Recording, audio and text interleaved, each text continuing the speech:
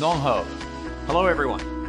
Congratulations on the 35th anniversary of the International Business Leaders Advisory Council. Manulife joined 13 years ago in 2011, and it's been an honour and a privilege to be included in this prestigious council. IBLAC has prompted valuable international discussion on vital topics including ESG, enhancing resilience, Shanghai's competitiveness, international business practices, and sustainable development. We sold our first policy in Shanghai in 1897. 27 years ago, Manulife Sinochem, the first foreign joint venture life insurance company in China, launched in Shanghai.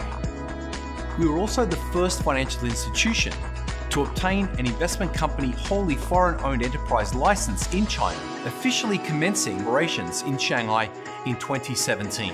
Over time, the city has only grown in importance to Manulife's global operation, and we value the opportunity IBLAC provides for us to share our company's views on the development and future of Shanghai. On a more personal note, I've had the privilege of visiting Shanghai several times, and I'm always in awe of its vibrant culture and people who make it such a special place.